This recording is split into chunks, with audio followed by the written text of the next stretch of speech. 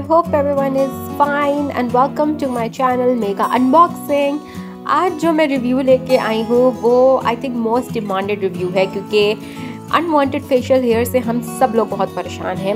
सो so, आज मैं लेके आई हूँ टिंकल रेज़र बहुत सारे लोगों ने मुझे मैसेज करके ये बोला कि आप अनवांटेड फेशियल हेयर पे कोई वीडियो बनाएँ और हमें बताएँ कि हम कैसे रिमूव करें। तो ये जो टिंकल हेयर है ये बेस्ट एंड इफ़ेक्टिव मेथड है to reduce your unwanted facial hair ये टिंकल रेज़र जो है वो एक पैकेट में थ्री पीस आते हैं। और I think it's enough for I think three months depending on your usage ये आप रीयूज़ भी कर सकते हैं, इसमें कोई मसला नहीं है। इसके ब्लेड्स इतने फाइन हैं और आप जो है, जब इसको स्किन पे अप्लाई करेंगे तो यू विल फील के बहुत ही स्मूथ स्किन होती है।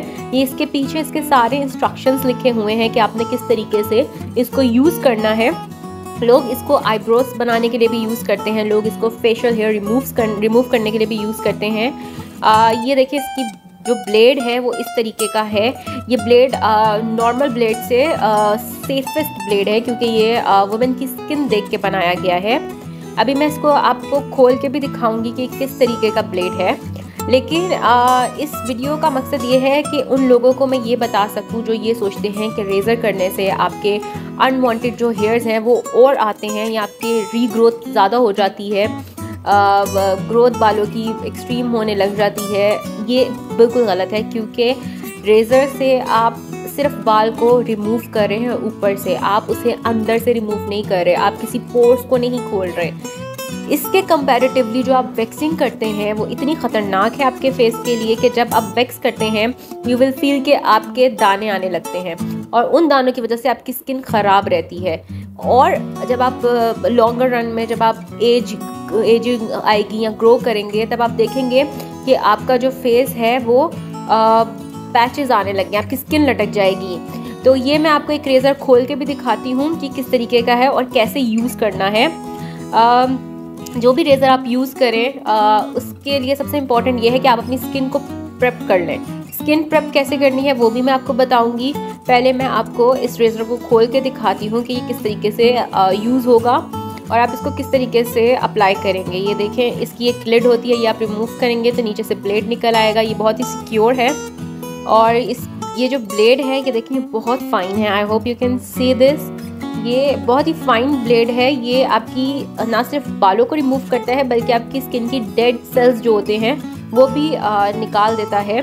और इसके इसलिए आप जो जब जब कभी मेकअप करें या जब कभी कहीं जा रहे हो तो इससे पहले आप अच्छे से स्किन को प्रेप करके ये यूज़ कर सकते हैं। तो मैं आपको बताई थी कि आपने स्किन को प्रेप कैसे करना है।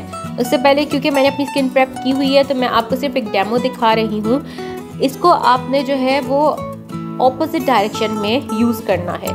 ऑपोजिट मीन्स कि अगर आपके हेयर्स की डायरेक्शन अपवर्ड है तो आपने इसको डाउनवर्ड से करना है लाइक like दिस ठीक है? और अगर आपके हेयर की डायरेक्शन डाउनवर्ड है तो आपने अपवर्ड से करना है लाइक like दिस तो ये देखें, क्योंकि मेरी डाउनवर्ड है तो मैं इसको अपवर्ड डायरेक्शन में कर रही हूँ तो ये देखें अब आप, ये जो अनवांटेड हेयर्स हैं, ये किस तरीके से रिमूव हो गए हैं। फाइनली बहुत ही ज़बरदस्त तरीके से साफ़ हो गए हैं ये और ये देखें बिल्कुल स्किन क्लियर हो गई है।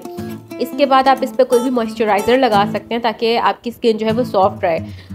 जो मैं आपको बताई थी कि स्किन कैसे प्रेप करनी है स्किन प्रेप करने के लिए आप कोई भी मॉइस्चराइज़र यूज़ कर सकते हैं सबसे पहले। आ, उससे पहले आप अपनी स्किन को साफ़ करें अच्छे से फेस वॉश से धो लें। उसके बाद आप हल्का सा मॉइस्चराइज़र लगाएँ। अगर आपके पास मॉइस्चराइज़र नहीं है तो आप एलोवेरा लगाएँ और एलोवेरा लगाने के बाद आप इसे अच्छी तरह आ, अपनी डायरेक्शन ऑफ़ योर हेयर्स आप इसे अप्लाई करें या इसे आप यूज़ करें।